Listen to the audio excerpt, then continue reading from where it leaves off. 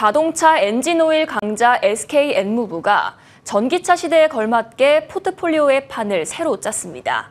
전기차용 윤활유 사업을 강화하고 데이터 센터의 전력 효율을 높이는 열관리 시장에 새롭게 진출하기로 했는데요.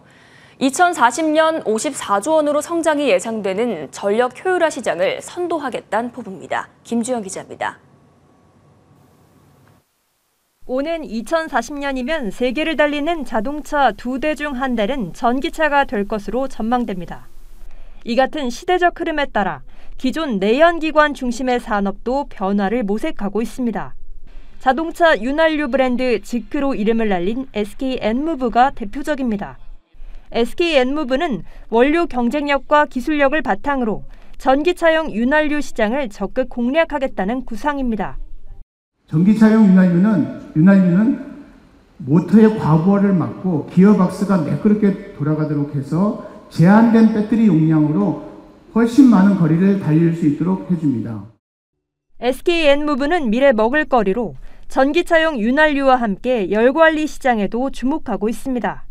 전기 사용량이 늘고 장비 밀집도가 높아지면서 기계의 발열을 제어하고 전력을 안정적으로 공급하기 위한 수요가 급증할 거라는 판단입니다.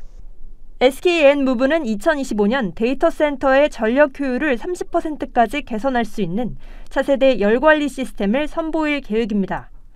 이를 위해 지난해 관련 기술을 보유한 미국 GRC에 2,500만 달러의 지분 투자를 하고 IT 기업 델 테크놀로지스와 상용화를 위한 협약을 맺는 등 글로벌 기업과 협력을 강화하고 있습니다.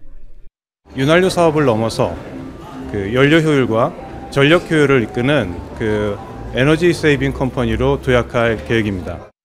SK엔무브는 2040년 전기차용 윤활유 시장이 12조 원, 데이터 센터와 에너지 저장 장치, 전기차 배터리 등의 열 관리 시장이 42조 원까지 성장할 것으로 내다봤습니다. 모두 54조 원에 이르는 거대 시장에서 전력 효율화에 앞장서겠다는 SK엔무브. SK 루브리컨츠에서 SK 엔무브로 바뀐 사명처럼 에너지 변화에 적극 대응해 미래 성장 기업으로 한층 도약하겠다는 목표입니다.